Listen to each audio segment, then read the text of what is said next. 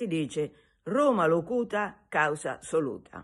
Significa, una volta che Roma ha parlato, una volta che Roma ha espresso su qualcosa il suo parere, non c'è più possibilità di mettere in discussione quel parere, perché Roma è, la città mondo e questa eredità è stata presa dalla Chiesa, il Magistero universale ha sede a Roma, Roma locuta causa assoluta.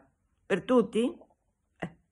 Fanno fatica tutti a accettare Roma locuta causa assoluta, in particolare fanno fatica i tedeschi, i quali tedeschi hanno avuto il potere temporale, massimo potere temporale nella cristianità per circa un millennio, quindi sono una nazione imperiale, per vocazione sono una nazione imperiale, perché lo sono stati per mille anni.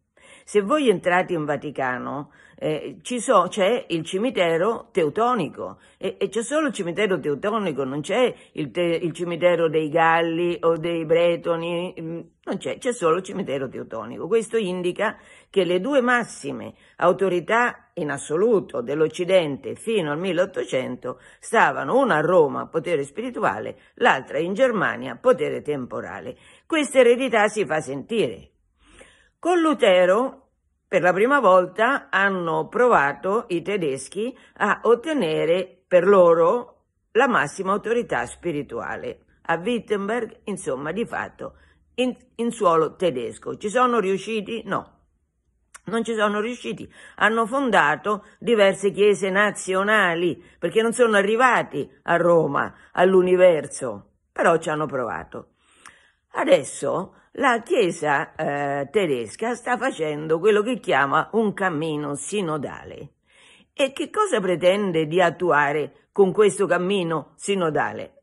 Pretende di ripartire da Lutero, cioè di dettare legge a Roma, perché Roma non è abbastanza moderna, non è abbastanza al passo coi tempi, non riconosce il matrimonio omosessuale, non riconosce delle relazioni sessuali, la bontà delle relazioni sessuali fuori del matrimonio o comunque all'interno dello stesso sesso. Non riconosce l'elezione dei parroci e dei vescovi ad opera dei fedeli, dei semplici fedeli. E è ora che Roma finisca, se la finisca con questa storia che deve dire sempre l'ultima parola. Roma ha avvisato la Chiesa tedesca che è una Chiesa ricca, ricchissima.